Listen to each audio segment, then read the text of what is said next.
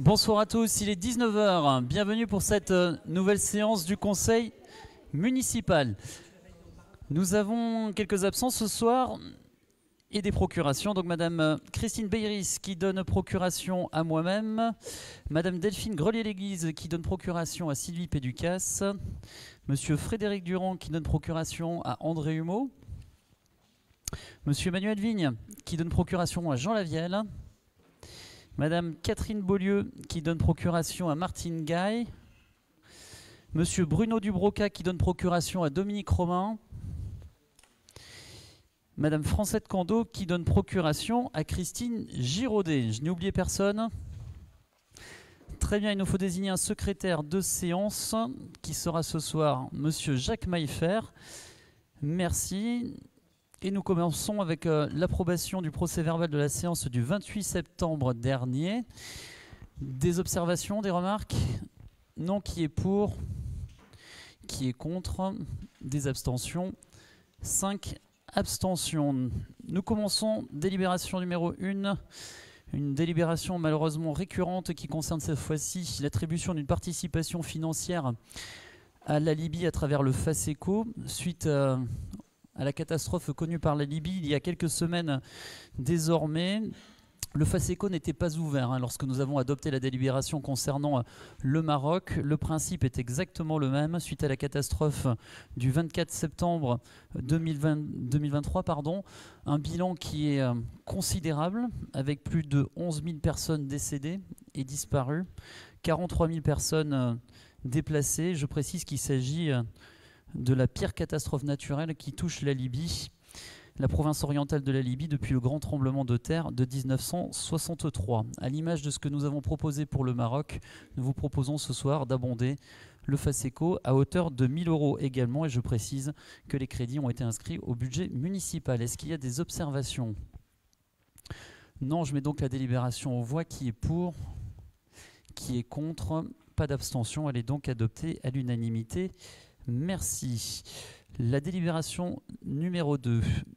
Appel adoption de l'appel pour une société landaise sans violence contre les femmes.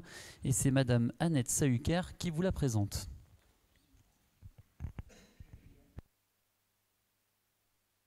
Monsieur, mesdames, euh, enfin, mesdames et messieurs les élus, bonsoir. Je vais lire donc une motion.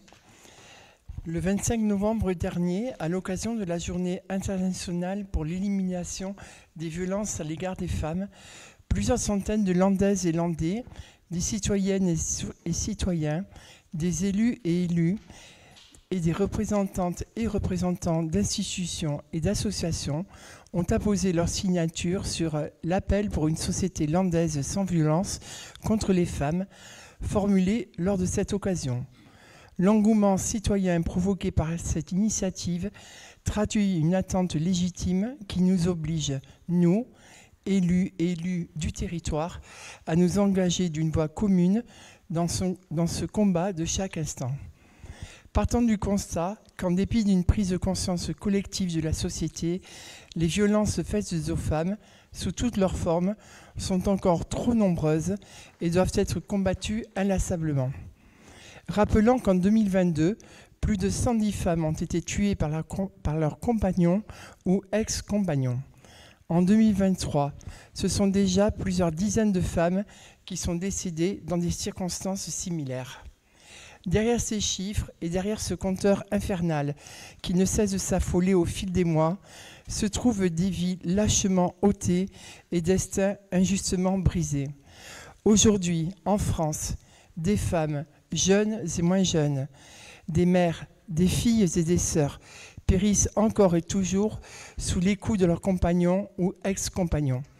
Et pourtant, les violences que subissent les femmes au quotidien ne se limitent pas à l'unique cadre familial et peuvent revêtir des formes bien différentes. Face à ces constats, il nous est impossible de nous habituer et de simplement nous résigner.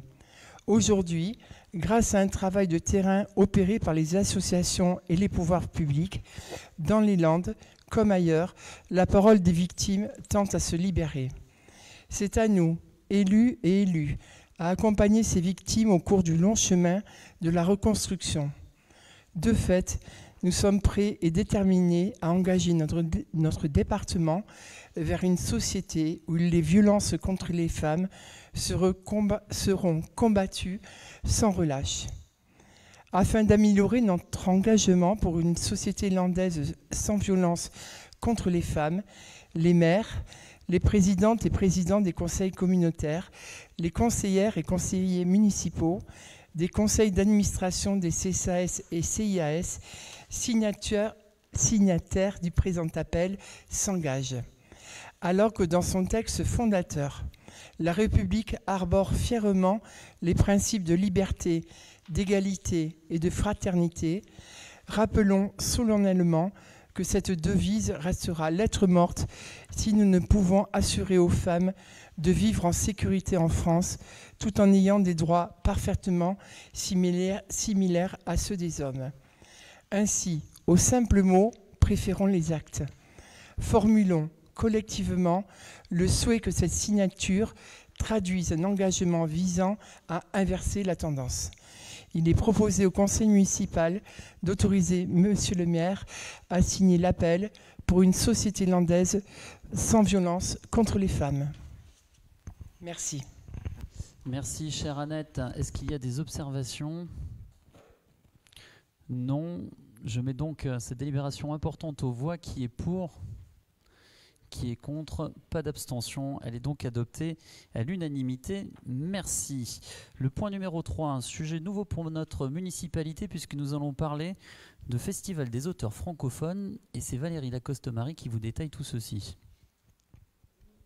Merci, Monsieur le maire, mesdames et messieurs, bonsoir. Euh, d'abord, pour resituer un peu ce, projet, c'est pour euh, et raconter comment cette euh, convention est venue jusqu'à vous.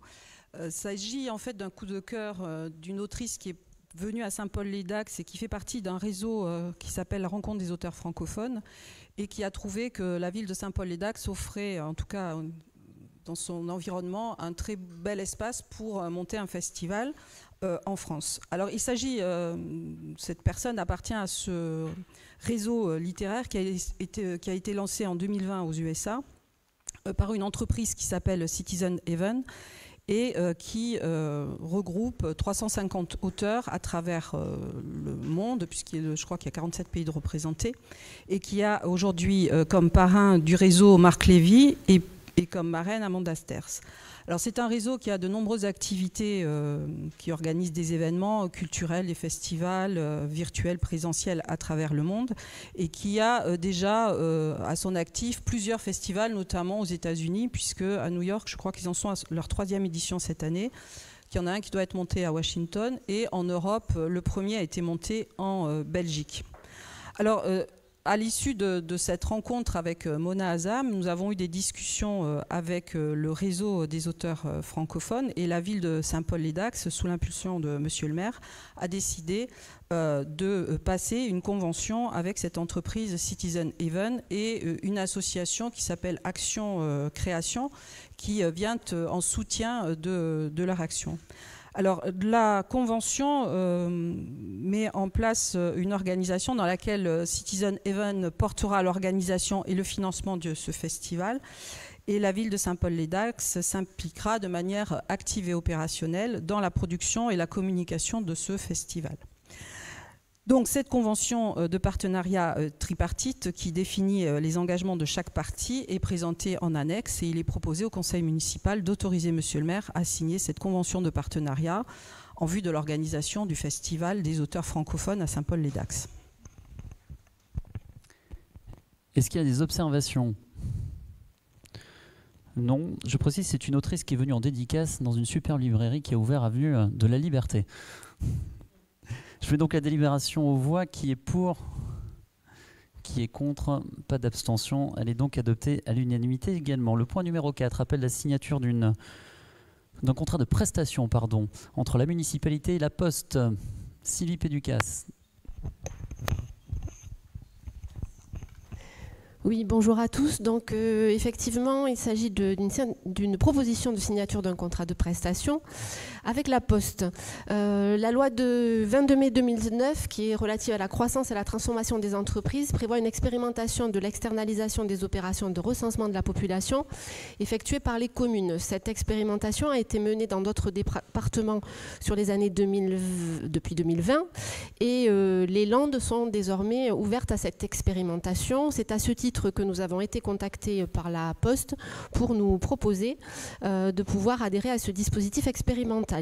Nous avons donc euh, candidaté auprès de l'INSEE et été retenus pour contractualiser avec la Poste sur l'organisation du recensement qui est toujours prévu sur la période de début d'année du 18 janvier au 24 février, la collectivité restant euh, responsable de l'organisation de la collecte des données. Euh, à ce titre, elle continuera à nommer un coordonnateur communal qui sera le contact des agents de la Poste et le référent auprès de l'INSEE, euh, référent communal euh, donc relatif à l'état civil de manière générale. Et de son côté, la Poste s'engage à assurer les prestations de recensement qui porteront donc cette année sur 840 logements sur le périmètre de la commune pour le protocole d'enquête 2024. Donc euh, pour ce faire, trois facteurs seront euh, mis à disposition, trois facteurs euh, volontaires, dégagés de leurs autres charges et fonctions sur la période, et qui seront donc disponibles du lundi au samedi, dédiés exclusivement à ces missions de recensement. Ces agents connaissent déjà le territoire, donc sont des agents volontaires mais sur le secteur et qui auront obligation de suivre une formation qui est proposée par l'INSEE. Le contrat prendra fin à la fin des opérations de recensement et de leur bilan, c'est-à-dire le 30 avril 2024. Et la prestation sera facturée à la commune au tarif de 7 860 euros hors taxe, soit 9 432 euros TTC. Est-ce qu'il y a des observations? Non, je mets donc la délibération aux voix qui est pour, qui est contre, pas d'abstention, elle est donc adoptée à l'unanimité. Au point numéro 5, un point administratif avec l'adoption d'un petit pavé qui est le règlement financier pour le passage à la M57. Jean Lavielle vous explique tout. Bonsoir à tous. Alors il s'agit de la délibération numéro 2023-10-5, adoption du règlement financier pour passage à la M57. Alors, nous vous présentons ce soir un dossier juridique, technique, organisationnel, compilé en 40 pages. Donc, ce règlement budgétaire et financier ainsi nommé est une des obligations liées au passage de la nomenclature M57, comme vient de vous le dire Monsieur le maire. Alors, c'est quoi une nomenclature? Ben, C'est tout simplement euh, un répertoire, euh, ça, répertorie l'ensemble des règles que la collectivité doit respecter dans l'élaboration et la gestion de son budget. Et la ville de Saint-Paul-les-Dax, au 1er janvier 2024, devra donc respecter les règles ainsi posées dans la nomenclature comptable M57 et non plus celle que vous connaissez tous aujourd'hui, c'est la M14. Alors l'article L5217 10-8 du Code général des collectivités territoriales dispose qu'avant le vote de la première délibération budgétaire qui suit son renouvellement, le Conseil établit son règlement budgétaire et financier. Cela nous confirme qu'après chaque élection municipale, l'équipe élue sera invitée à poser, confirmer le règlement budgétaire et financier de la ville et celui du CCAS et ses établissements annexes. Mais aussi que, vu que nous nous apprêtons à voter le budget primitif 2024 dans moins de deux mois, nous devrons apporter notre propre règlement. Euh, s'agissant d'un exercice plutôt libre, nous nous en sommes saisis pour en faire une réelle référence interne. Nous avons donc tenté de répondre à bon nombre d'objectifs tels que rappeler les normes partagées, le cadre légal dans lequel une collectivité doit s'inscrire, confirmer nos pratiques dans l'exercice budgétaire, poser un fonctionnement, un cadre en toute transparence afin de respecter le principe de permanence des méthodes. Aussi, le document a été créé avec des repères visuels permettant de naviguer et d'identifier clairement les parties réglementaires, les évolutions liées à la nouvelle M57, les pratiques internes et d'autres notes d'information. Quatre parties donc bien distinctes dans ce règlement financier. Une première partie relative aux actes budgétaires, une deuxième concernant l'exécution budgétaire, soit l'engagement de la dépense, et deux autres sur des parties spécifiques et techniques. D'abord les opérations particulières comme les régies, les inventaires, les opérations de fin d'année, ensuite la gestion de la dette. Dans la première partie, donc, est de rappeler que la vie budgétaire et financière rythme toute l'année, désireux de respecter le principe d'annualité, notre cycle budgétaire. Alors, il commence par, dès novembre de l'année N-1, avec le débat d'orientation budgétaire. Ça, il n'y a rien de changé à tout ça. Hein. Suivi par la présentation du budget primitif N durant le mois de décembre N-1. Nous nous retrouvons ensuite lors du budget supplémentaire décrit comme une décision modificative permettant d'affecter le résultat cumulé des exercices précédents. Il s'agit d'un document budgétaire permettant d'acter le report du résultat et de rééquilibrer ainsi le budget.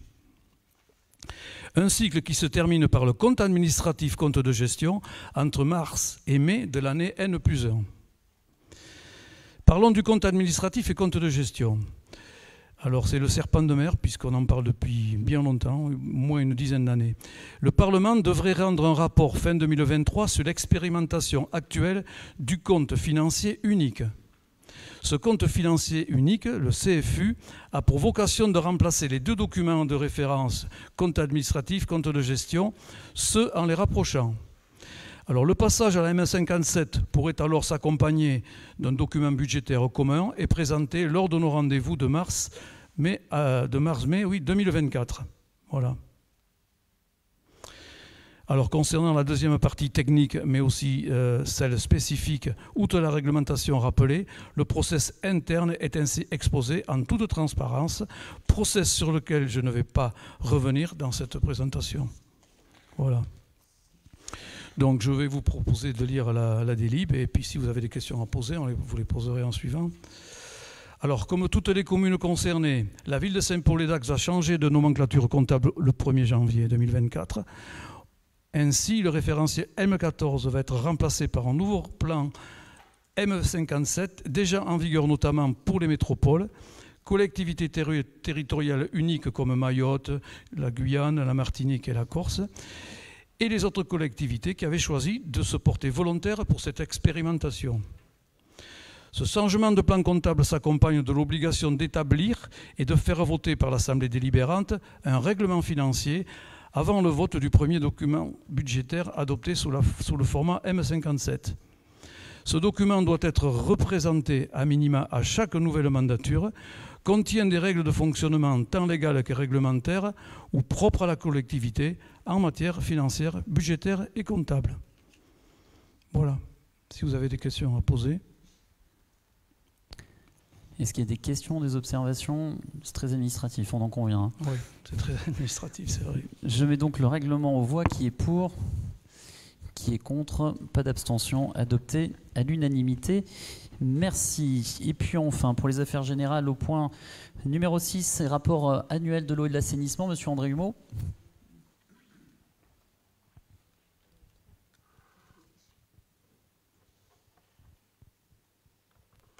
Bonsoir à toutes et bonsoir à tous. En vertu des articles L52-11-39 et D2222 euh, 22 2224-1 euh, du Code général de la collectivité territoriale, la communauté d'agglomération du Grand-Axe s'adresse chaque année avant le 30 septembre aux maires de chaque commune membre. D'une part, les rapports annuels 2022 sur les prix et la qualité du service public d'eau potable et d'assainissement et d'autre part le rapport annuel 2022 sur le prix et la qualité du service public de la prévention et gestion des déchets. Le maire est tenu d'en faire communication au conseil municipal. Il est proposé au conseil municipal de prendre acte de ces rapports annuels pour l'exercice 2022. Est-ce qu'il y a des observations sur le rapport?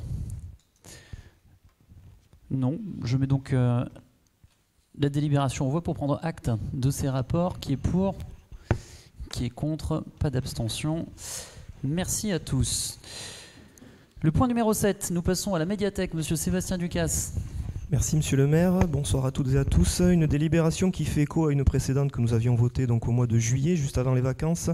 Je vous en rappelle la teneur, qui était donc euh, de proposer des tarifications pour les euh, usagers de la médiathèque qui sont extérieurs à la commune de Saint-Paul-et-Dax avec une tarification annuelle de 15 euros pour pouvoir emprunter des documents. Cela venant du fait en effet que 40% des abonnés donc, de la médiathèque sont des résidents hors de la commune mais que malheureusement cet équipement demeure euh, financé par les seuls Saint-Paulois attentif notamment à une remarque qui avait pu être faite par Christian Bertou, que nous voyons ici. Donc euh, voilà, comme quoi nous sommes à l'écoute de toutes les bonnes remarques quand elles sont constructives, et notamment de l'opposition. Donc, Mr. Christian, nous en avions tenu compte et nous sommes rapprochés aussi de la DRAC pour revenir un petit peu sur sa délibération et euh, l'adoucir en proposant donc le maintien donc, de la gratuité pour les mineurs et aussi, donc euh, là aussi on a décidé aussi de, l'élargir, mais aussi les étudiants parce qu'ils sont nombreux à fréquenter la médiathèque, on en est content. Donc on vous propose de, via cette délibération de maintenir donc la tarification de 15 euros pour les adultes hors Saint-Paul et Dax, mais par contre d'instaurer euh, la gratuité donc pour les mineurs et les étudiants hors Saint-Paul et Dax, euh, sachant bien sûr que l'accès à la médiathèque et la consultation de l'intégralité des collections reste accessible à tout le monde, Saint-Paulois ou non. Donc euh, nous proposons voilà, que ces tarifications soient appliquées à compter de novembre 2023 pour l'adhésion à la médiathèque Louis Michel. J'en rappelle donc les tarifs pour les habitants de Saint-Paul-et-Dax, mineurs et étudiants hors Saint-Paul-et-Dax, donc c'est gratuit. Et pour les habitants majeurs hors Saint-Paul-et-Dax, un tarif de 15 euros et les recettes qui à faire seront imputées au budget communal. Avez-vous des questions? Christian Bertou. Oui, donc je vous remercie justement d'avoir fait un petit pas en avant. Je vous demandais d'en faire un deuxième. C'était aussi sur le, le fait que les curistes qui viennent très peu de temps, c'est-à-dire trois semaines dans l'année, euh, on, vous demandait aussi de, maintenir un tarif un peu plus attractif, euh, payer 15 euros pour trois semaines. Je pense qu'on aurait pu partager au moins la poire en deux, si c'est pas plus. Quoi. Et ça permettait d'avoir aussi la venue de plusieurs personnes et, pouvoir bénéficier de, tout cet équipement exceptionnel. Alors, enfin, nous, l'idée, vraiment, vous l'avez vu, donc dans cette euh, délibération, c'est de privilégier aussi la lecture publique pour le jeune public. Pour les plus jeunes, euh, les étudiants notamment qui n'ont pas des moyens euh, vraiment conséquents, et pour le jeune public là aussi, donc qui devient une priorité nationale. On part du principe là aussi que le public curiste est un public adulte qui a les moyens, en tout cas, on va dire qu'une 15 euros, euh, c'est pas forcément quelque chose qui est inabordable. On a vraiment souhaité là aussi faire un petit pas, en effet, même un grand pas pour le jeune public. Et les parents sont pleinement satisfaits de ce dispositif. Des, euh, les professeurs qui pourront aussi intervenir donc au sein des EHPAD, ces choses qui sont faites aussi régulièrement, ou du multi-accueil. Ils seront donc rémunérés à hauteur des heures effectuées, réalisées sur la base du taux horaire relatif à leur situation administrative et afin donc, comme je le disais tout à l'heure, d'assurer la coordination pédagogique de l'école municipale de musique et de danse pour l'année 2023-2024, un contingent mensuel de 28 heures est reconduit. Le tarif horaire de ces heures de coordination est retenu en référence donc à la situation administrative du professeur de musique concerné. Il vous est donc demandé donc, de formaliser ces attributions par arrêté individuel, contrat ou avenant au contrat, comme indiqué dans les tableaux euh, qui vous sont euh, proposés, pour tenir compte des inscriptions enregistrées au titre de l'année 2023-2024. Il est également décidé que les professeurs sous contrat à durée indéterminée seront rémunérés au prorata des heures effectuées en référence au grade d'assistant d'enseignement artistique principal de deuxième classe et que les professeurs sous contrat à durée indéterminée seront rémunérés en référence au grade d'assistant spécialisé d'enseignement artistique principal de première classe défini selon l'ancienneté et diplôme détenu. Par ailleurs, les intervenants fonctionnaires en déroulé de carrière au sein de la collectivité seront rémunérés par référence à leur situation administrative. Il est également décidé que lorsqu'il sera fait appel à des intervenants extérieurs, une indemnité euh, forfaitaire horaire sera calculée au, maximum sur la situation administrative de ces intervenants. Voilà donc une délibération classique que nous avons l'habitude de présenter chaque année. Avez-vous des questions? Non, qui est pour? On a perdu Catherine Favard, mais elle est, qui est contre Pas d'abstention. Elle est donc adoptée à l'unanimité. Nous ouvrons le chapitre des affaires foncières. Nous commençons avec une euh, convention concernant le PAPI. C'est un acronyme. Alain Godot. À tous, à toutes et à tous. Donc, euh, je vais vous parler de la délibération 2023-10-10, signature d'une convention avec l'institution Adour dans le cadre du programme d'action de prévention des inondations, donc PAPI. Donc, le programme d'action de prévention des inondations, PAPI, de l'agglomération d'Aquoise est un outil de contractualisation avec l'État permettant d'obtenir de celui-ci pour la gestion des inondations grâce à la mise en œuvre d'actions Donc l'intérêt d'une telle démarche est de permettre d'avoir une approche globale et concertée de la gestion du risque d'inondation sur un territoire spécifique par la mobilisation de différents acteurs liés au risque d'inondation. Dans ce cadre, il est prévu un certain nombre de mesures à mettre en œuvre afin d'améliorer la connaissance et la culture du risque. C'est pourquoi l'établissement public territorial de bassin, donc l'institution Adour, propose de mettre en place du mobilier en lien avec le risque d'inondation sur différentes communes du Papy, donc du Grand Axe. À cet effet, les élus se sont positionnés sur l'installation de repères de crues proposés par l'institution Adour lors de la commission travaux urbanisme, eau et énergie du 19 septembre 2023. Les repères de crues seront installés au niveau de l'ouvrage de régulation du lac de Christus, sur le mur de la base de loisirs et sur la pile du pont SNCF de l'avenue des Tuileries. Afin de permettre leur mise en place aux emplacements précités, l'institution Adour propose l'établissement d'une convention. Il est donc proposé au conseil municipal d'autoriser Monsieur le maire à conclure une convention avec l'institution Adour et à signer la dite convention, ainsi que toute pièce s'y rattachant. y a-t-il des questions ou des remarques? Non, qui est pour qui est contre, pas d'abstention, adopté à l'unanimité. Au point numéro 11, une convention avec Grand Axe, très haut débit. André Humeau. Très bien, il s'agit de la signature d'une convention avec Grand Axe très haut débit pour l'installation d'une chambre télécom et de deux fourreaux. Le déploiement du réseau de grands axes très haut débit en vue de l'exploitation de ce service public local nécessite l'implantation d'ouvrages sur le domaine privé de la commune de Saint-Paul-les-Dax, permettant ainsi la desserte de cette dernière en très haut débit. L'opérateur souhaite implanter une infrastructure fibre optique enterrée sur la parcelle cadastrée, section BH 1657, propriété de la commune de Saint-Paul-et-Dax, et située allée de Christus et aménagée actuellement en trottoir.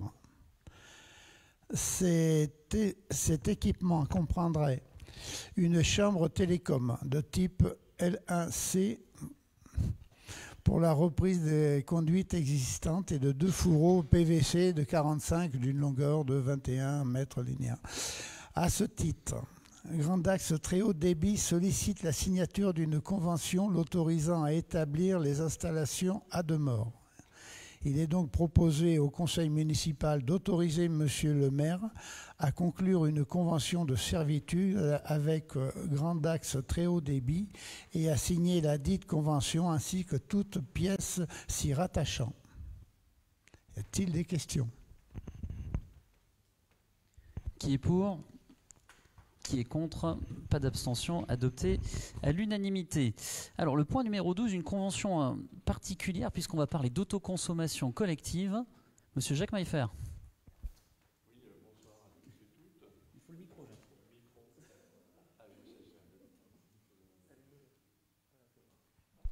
Euh, donc bonsoir à toutes et tous. Il s'agit de la signature d'une convention avec Enedis pour la mise en œuvre d'une opération d'autoconsommation collective.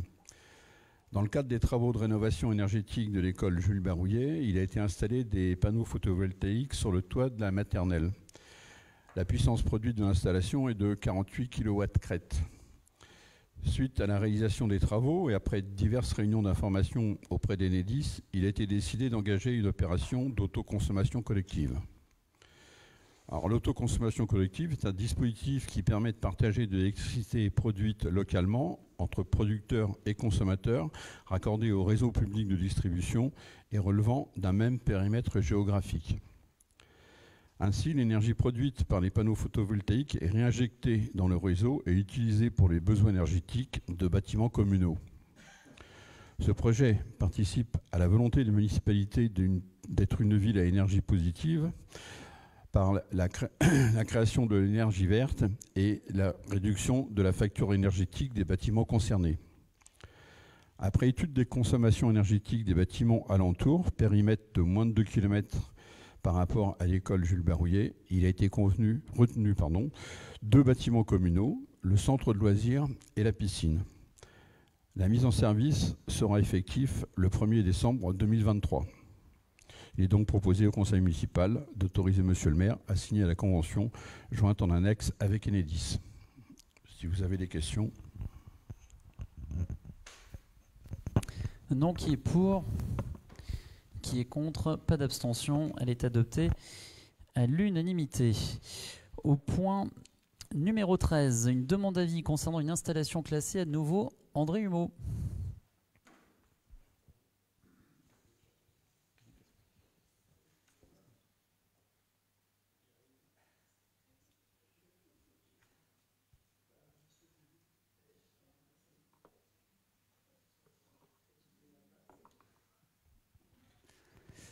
Alors le temps que la bonne délibération arrive, puisqu'il s'agit d'une reconstruction d'une plateforme logistrienne au nord de Saint-Paul.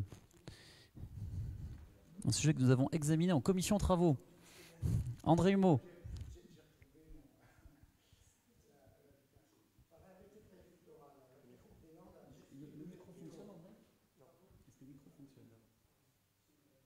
Pas vraiment mal. Par arrêté préfectoral, la préfète des Landes a prescrit l'ouverture d'une consultation au public d'une durée de 4 semaines du lundi 18 septembre 2023 au vendredi 13 octobre inclus dans le cadre de la demande d'enregistrement à titre des installations classées pour la protection de l'environnement ICPE déposée par la SAS Etchistock relative au projet de reconstruction d'une plateforme logistrielle sur la commune de Saint-Paul-les-Dax.